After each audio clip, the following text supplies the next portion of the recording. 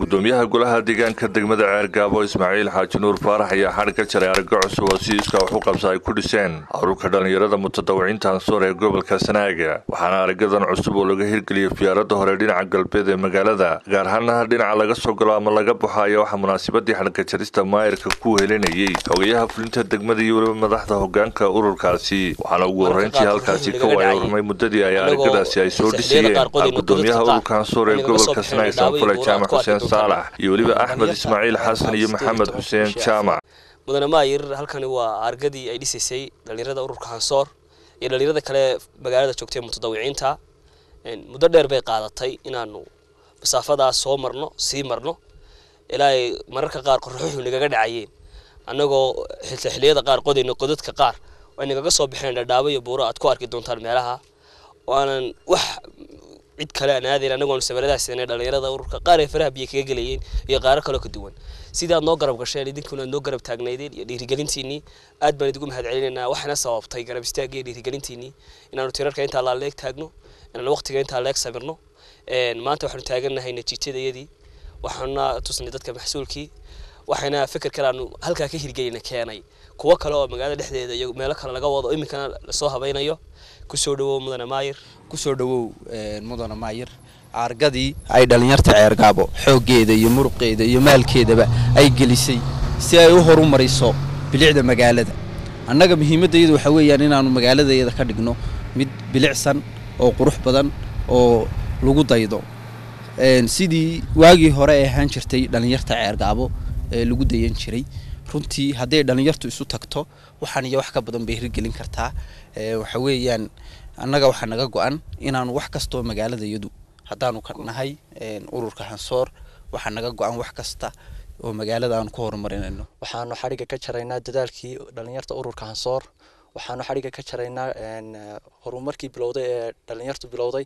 Waxaanu kaloo xadhigga ka jaraynaa wadatashigai dhallinyarada mudane maayir sii wada jira inaynu wada jaro in kuugu soo dhaweyn waxaana dhinacooda halkaasi hadallo bogaadeen iyo dhiirigelin isugu jira halkaasi ka soo kala jeediyey xogayaha fulinta degmada siciid cumar caabi iyo maayirka degmada ceergaabo ismaaciil xaaji nuur oo dhinacooda u ballanqaaday inay dhallinyarada hilyahoob ay la barbar istaagi doonaan islamarkaana ay kala qayb qaataan horumarinta degmada ururka dhallinyarada ee hansoor oo runtii fekerkooda iyo caqligooda tuujiyey gartay in dalkooda uu u baahan yahay waxqabad muuqdana ka sameeyey oo ay ka mid tahay aargadan aynu haddeer halkan taagannahay. Runtii waa wax lagu farxaa. Dhallinyaradu meel kasta ay joogto waxyaabo kale ay ku mashquulsan yihiin. Qaar balwad bay ku mashquulsan yihiin. Qaar qabyaalad bay ku mashquulsan yihiin. Qaar tahriib bay ku mashquulsan yihiin. Ilaaha garansiiye dhallinyarada tan in ay dalkooda wax u qabtaan oo ay ummadaha kale la mid dhigaan magaaladooda allaha ayaa mahadleh marka labaadna ururka ayaan u mahad celinayaa runtii waa wax lagu farxaa. Intaasoo dhallinyaro ah oo cududdii dalka ah. Dhallinyaradu waa cududda dalka waa caqligoodii waa maskaxdoodii. Ilaahay suukan keenay mashruucan arkada. Dhallinyarada gobolku ay qaarkood ka fekereen inay wax dhaqaajiyaan. Ilaahaasaan u mahadnaqaynaa ilaahay ku ilhaamiyey dhallinyarada inay wax qaban karaanna. Ilahay baan ugu mahadnaqaynaa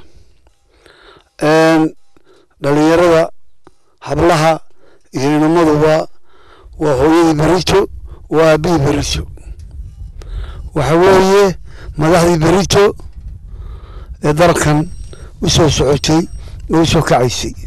Waxaan ilaahay weydiinayaa inay idinku gaadhaan madaxnimada iyo noloshaba wanaag iyo tawfiiq iyo idagu midaysan waxa wax lagu qaban karaa midnimo waxa wax lagu qaban karaa dadaal markaa ku fekerteen inaa arkadan samaysaan dee maydin aqoon war samayaqaanna maydin ahayn.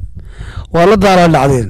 Dhib badan baa idinka gaadhay mar idinka dunto maraad dib u dhistaan. Laakiin khibrad baa idinka korodhay. Waxaa ka macaashteen khibrad aqoon iyo inaad wax qaban kartaan. Waa ogaateen. Ilaa waa mahadle. Ilaa baynugu mahadnaqaynaa aada iyo aad baan idinku mahadnaqayaa wax alaalay wixii dambe aynu isugu nimaadnaa diyaar baanu u nahay fikraddiina halsoor waxaan u diyaarnahay inaan waxaan ka qaban karno ka qabanno hadaalina annagana dabada naga kaxaya diyaar baanu idiin nahay wax alaala wixii meesheenna ku hagaagayso bilicdeeda iyo horumarkeedaba diyaar baanu idin nahay waana idin mahadnaqaynaa boqolkiiba boqol. Dhinaca kale munaasabada ay si wada jira u soo qabanqaabiyeen maayarkii xogayaha fulinta degmada oo lagu dhiirigelinayo ururka dhallinyarada hansoor ayaa habeenkii xalay ahayd lagu qabtay hoolka hotelcadami ee magaalada ceergaabo waxaana mas'uuliyiintaasi halkaasi ay dhallinyarada ay ku guddoonsiiyeen shahaadooyin ay ku maamuusayaan sida ay uga qayb qaadanayaan horumarinta caasimada gobolka. Cali adan daahir telefishinka caalamigu home cable t v magaalada ceergaabo